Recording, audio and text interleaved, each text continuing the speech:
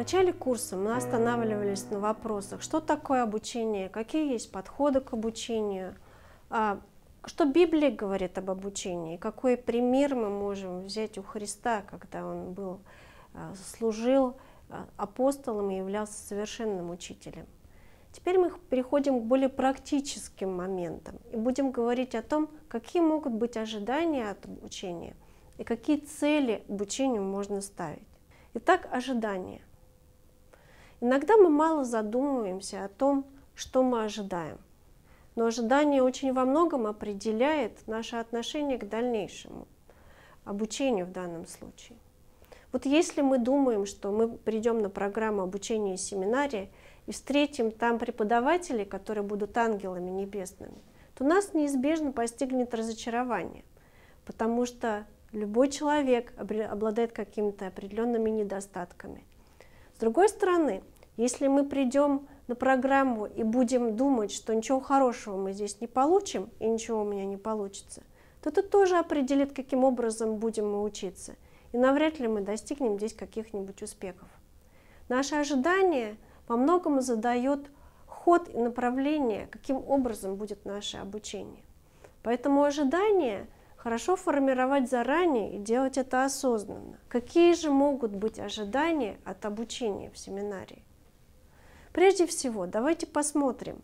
Мы говорили уже о том, что а, Библия наставляет нас заниматься учением. Но какая цель? Для чего это нужно делать?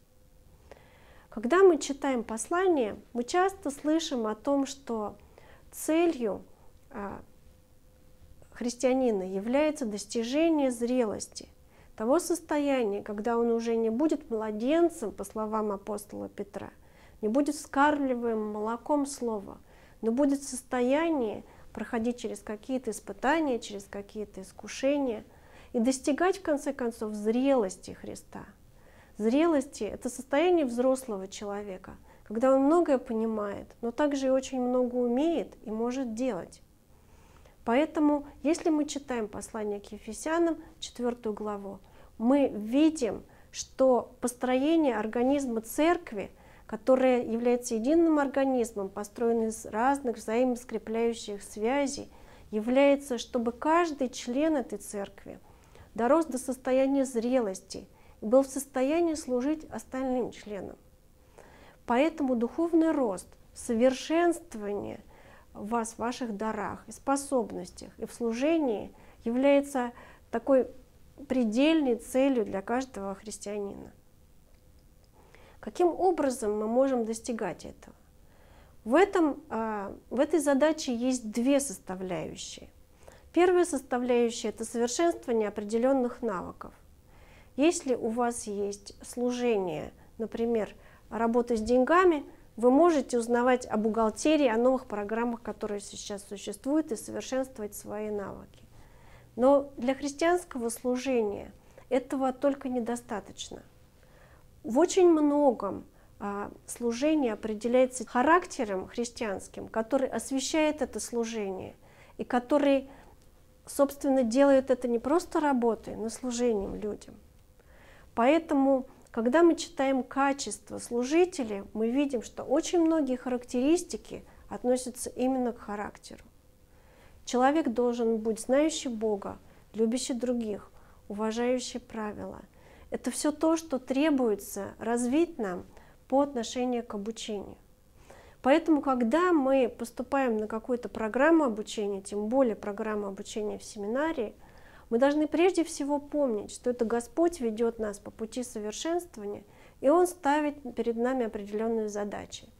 Задачи вырасти в наших знаниях, задачи вырасти в наших компетенциях, как сейчас говорят, в умении что-то делать, но также и задачи стать лучшими – Задача нивелировать свои недостатки, но раскрыть свои способности максимально широко. Что следовало бы ожидать нам от программы обучения?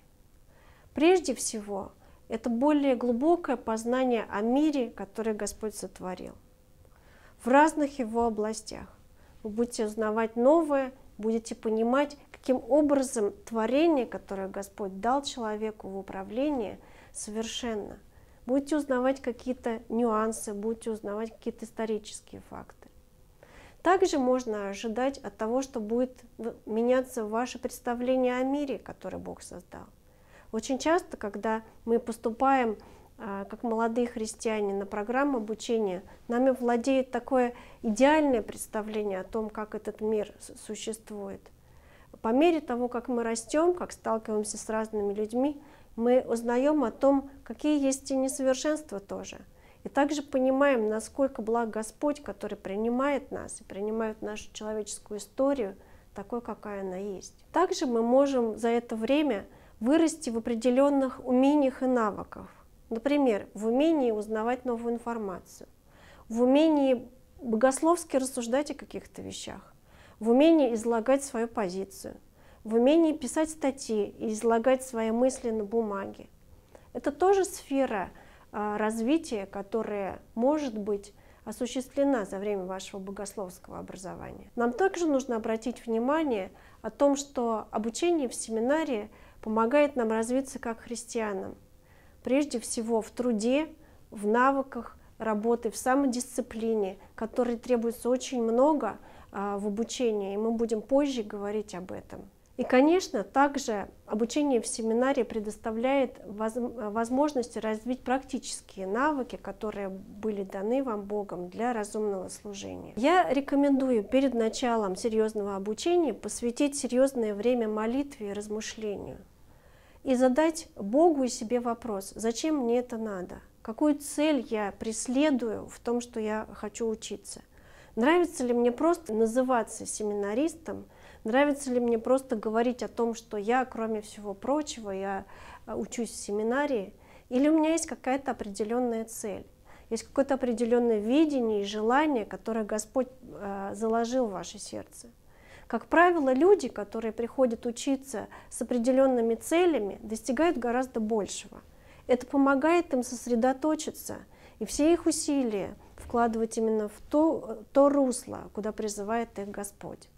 По моим наблюдениям учителя, те люди, которые приходят и имеют определенное видение на дальнейшее служение, достигают а, гораздо большего и достигают это за более короткий срок. Что можно порекомендовать относительно целей?